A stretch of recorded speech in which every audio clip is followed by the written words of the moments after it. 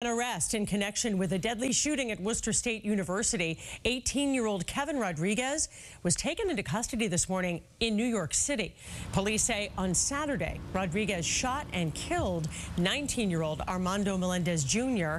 and another person was also wounded. Also